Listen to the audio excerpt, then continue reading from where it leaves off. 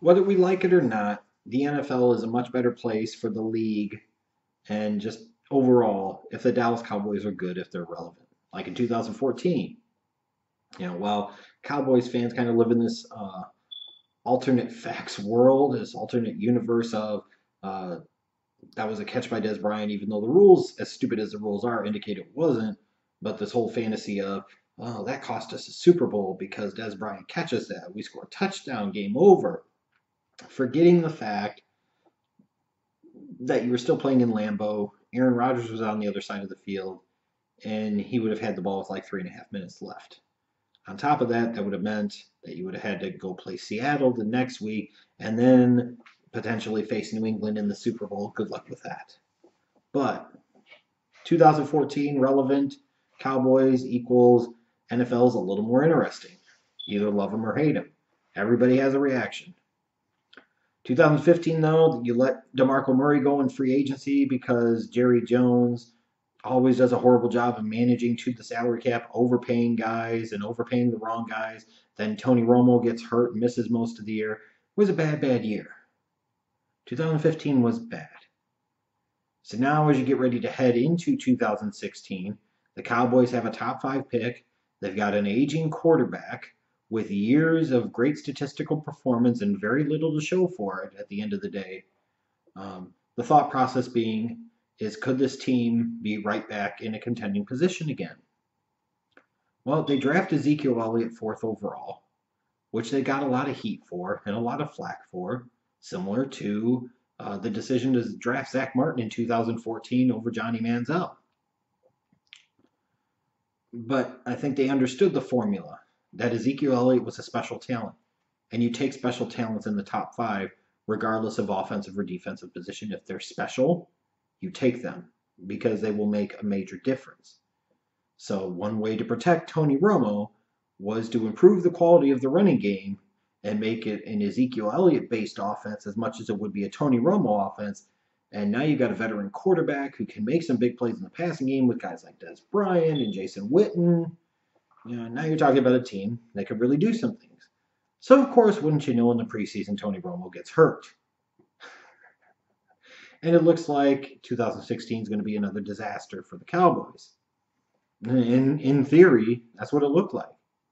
and it would be fitting because for some reason, the people involved with the Hall of Fame were in such a rush to put Jerry Jones's ass in the Pro Football Hall of Fame. And I don't get it. Yes, he has three Super Bowl trophies, but clearly a large portion of that credit goes to Jimmy Johnson. He was the architect. He was the guy, regardless of who carried what title, he was the guy that made it happen. He was the guy that built that organization. He's the one that made them champions. And all the evidence that you need is that 20 plus years after he's gone, Jerry Jones hasn't been able to build anything close to resembling a real championship contending team. And people leaving in free agency like DeMarco Murray happens because of idiotic decisions made by Jerry Jones in free agency. This is also the Jerry Jones that ultimately signed off on bringing in Greg Hardy, fresh off of some domestic abuse charges in 2015. Now, this is the Jerry Jones that passed on Randy Moss in 1998. And a lot of times, frankly, when Jerry Jones does do something right, it's because somebody else makes the decision for him and other people fucking screw up. It was his son Stephen that pushed for Zack Martin over Johnny Manziel and overrode his dad in 2014. And that has worked out splendidly. Just think about that. You get to 2016 and Ezekiel Elliott is there at number four because other teams have passed on him ultimately, uh, based off of this or that or everything else. But at the end of the day, he's there. And I'm sure at the end of the day, that was a Stephen Jones decision too, even if Jerry Jones was on board with it. You know, so often this guy benefits from other people's mistakes. Looking at the 2010 draft, people passed on Dez Bryant because of off the field concerns. So finally got to a point where he could make up for his Randy Moss mistake with Dez Bryant. Well, Jerry, you're never going to make up for your Randy Moss mistake, but it was a nice attempt. Dez Bryant is a nice player, but he's not first ballot Hall of Fame worthy like Randy Moss was. Even Tony Romo. This is a kid that was undrafted coming out of Eastern Illinois. You know, Jason Witten was a third round pick out of Tennessee back in 2003. You know, I'm just saying. So I, I just don't get why there's so much love for Jerry. Yeah, he's got personality he's good with the media and all that other stuff. He's built that massive shrine to his ego, that temple called AT&T Stadium. But at the end of the day, a lot of times when things go well for the Cowboys, it's in spite of Jerry Jones, not because of them. But nonetheless, as you get ready to roll into 2016, another major injury to the shoulder collarbone area for Tony Romo, or this time he's was back, or whatever the fuck. It's hard to keep track of them at this point because there were so many of them.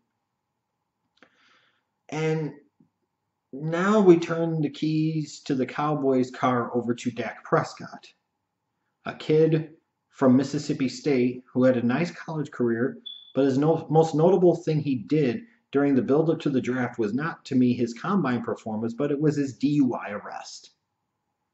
The same Dak Prescott that the Cowboys were not targeting in round number four, mind you, they wanted Connor Cook. So even in the case of Dak Prescott, again talking about the thing where Jerry Be- Jones benefits as much in spite of himself than because of himself and because of the stupidity or the mistakes of other people. As the Oakland Raiders trade up into the beginning portion of round four to take Connor Cook, Dak Prescott falls into the Dallas Cowboys lap and they take him. And it's funny how that works out. Because all Dak Prescott did, for all intents and purposes, along with Ezekiel Elliott and the best offensive line in the National Football League, was save the Dallas Cowboys season and changed the entire aura of this organization, changed the entire outlook and perspective of this organization. To go into this season thinking you've got a fourth round uh, rookie quarterback lacking in big explosive arm talent and you're going to be a playoff team? Come on. Especially with a mediocre to below mediocre defense? You're crazy. But all the Cowboys did was go out and finish 13 and 3, get the number 1 overall seed in the NFC, have home field advantage throughout the playoffs. And even within those 3 losses, when you look closer, you could make an argument that this is a Cowboys team that had the stuff to potentially go 16 0 in the regular season. They lost in week one to the Giants by one point because Terrance Williams didn't get his ass out of bounds to give the Cowboys a field goal attempt to close out the game. Later on in the season, they lose to the Giants by three points because they allowed Odell Beckham Jr. on one play to carve him up and run through him and go for a long touchdown. And then in week 17, they lost to Philadelphia when they didn't care. They were trying to get Romo action and Sanchez action. They already had the top seed clinched, so they literally didn't care. This was just a drill. This was just one big practice scrimmage for them. Those are their three losses. You can make an argument that if Terrance Williams gets out of bounds, the Cowboys maybe double team Odell Beckham Jr. in the fourth quarter, don't give up that big touchdown, and care to give a fuck in week 17, this is a Cowboys team that could have went 16 and 0 or at the very least 15 and 1. And I know as the season went along, there was this buzz and talk about whether or not the job should be given back to Romo and Romo, Romo, Romo. Fuck Romo.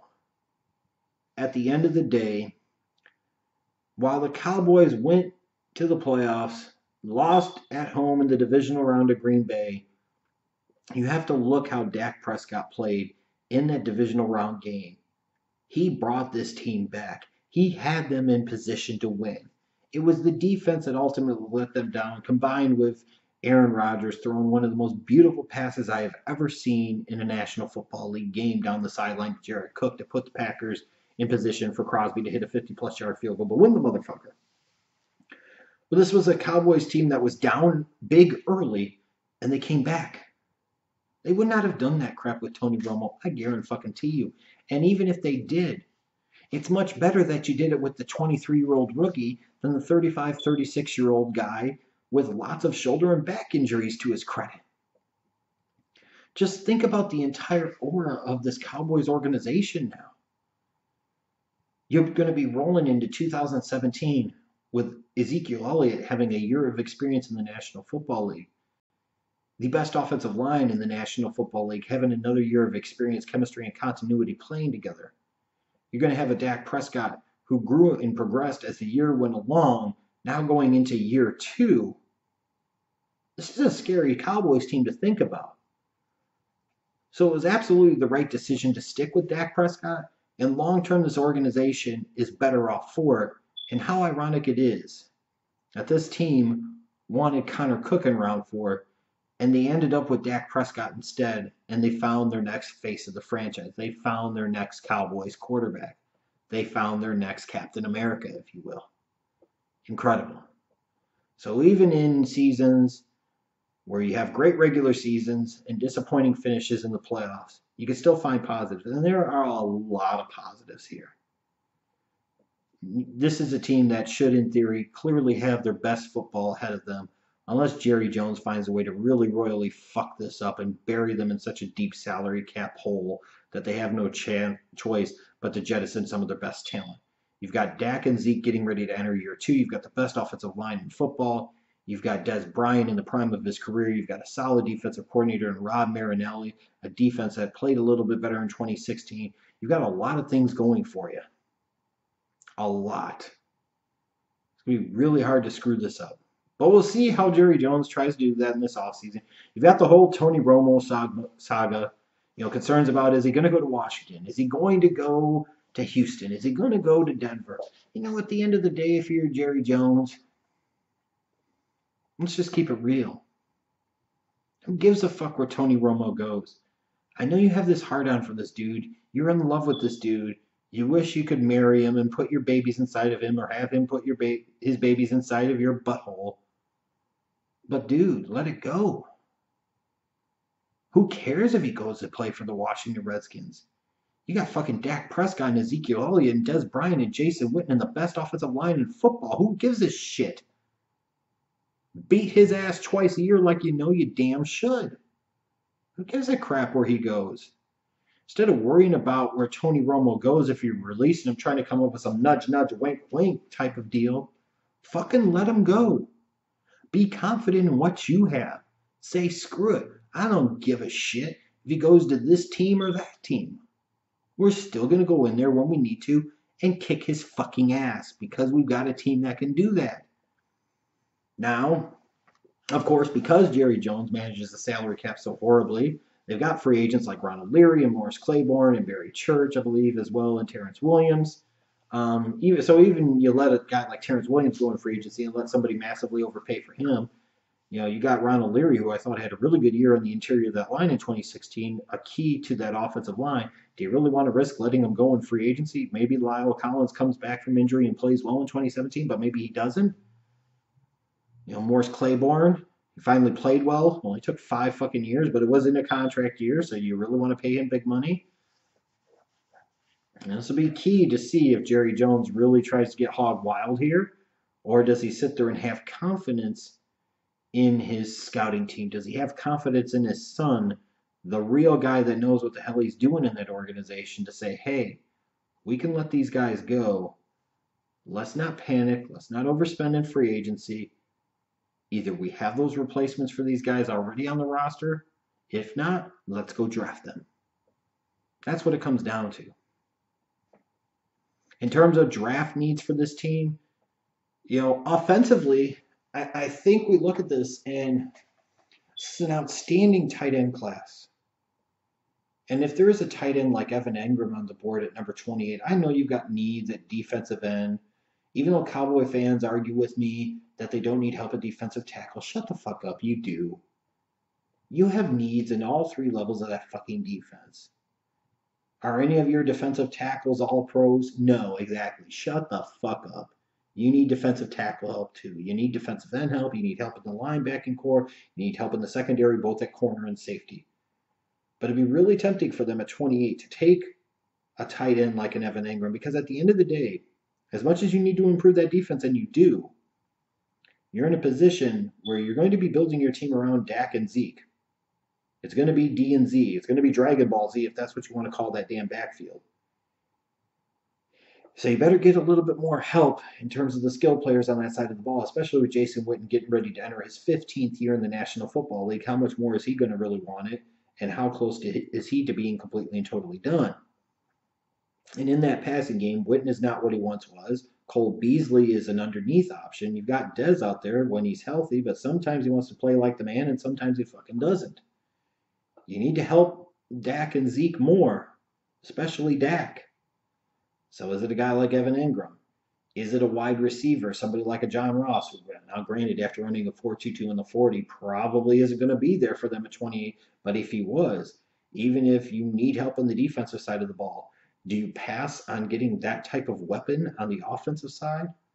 The point I'm getting at here is where the Cowboys do have needs, they just have to get really good football players.